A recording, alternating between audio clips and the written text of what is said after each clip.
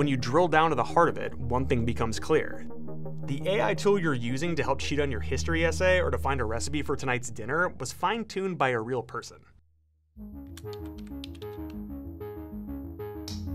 Behind the development of your favorite AI tools like ChatGPT, there is an army of human workers trying to make sure AI is trained on quality data. ChatGPT just doesn't automatically know things. It's a large language model that needs to be trained by people. These workers grade the performance of leading AI models through a process called reinforcement learning through human feedback, or RLHF. It could involve teaching a chatbot the correct dates of World War II, or showing an autonomous driving system how to identify a stop sign. RLHF is better known as data labeling, and just like Uber drivers and Door DoorDashers, data labelers are gig workers paid hourly wages without benefits. Data labeling is an enormous business. All of the biggest developers of large language models, such as Google, OpenAI, Microsoft, and more, have relied on this form of gig work and the startups that provide it at one time or another. One 2022 study found there are millions of data labelers working across the globe. Among the most significant data labeling startups are the companies Scale AI and Surge AI.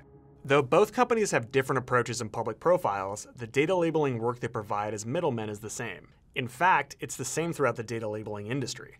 Almost always, the workers have no idea what companies are behind the AI products they're training.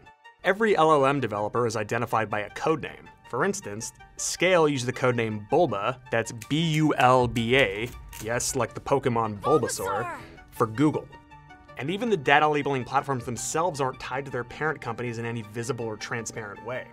While both Scale AI and Surge are enormously successful, each has been the subject of different class action lawsuits over alleged labor law violations. Let's start with Scale. The company was founded in 2016 by the now 28 year old billionaire Alexander Wang, who grew it into a giant through partnerships with Google, OpenAI, and other leading LLM developers. Scale is so prominent that Meta invested $14 billion in the company earlier this year, acquiring 49% of the firm at a $29 billion valuation.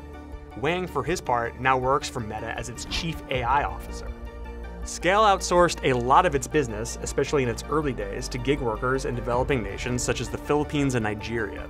Reports over the years in outlets such as the Washington Post and The Verge indicated that workers abroad were often not getting paid, those allegations of non payment followed Scale as it expanded into the United States.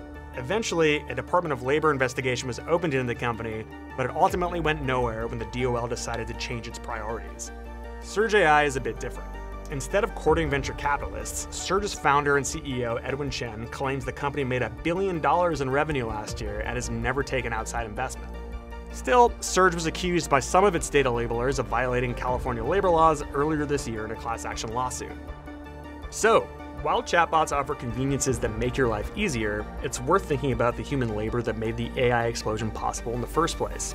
After all, without this army of human workers, the product wouldn't even exist.